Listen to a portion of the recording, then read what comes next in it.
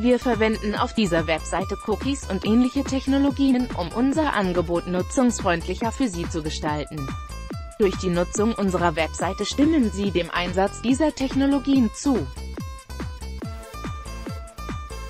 Weitere Informationen hierzu und wie Sie der Verwendung dieser Technologien widersprechen können, finden Sie hier.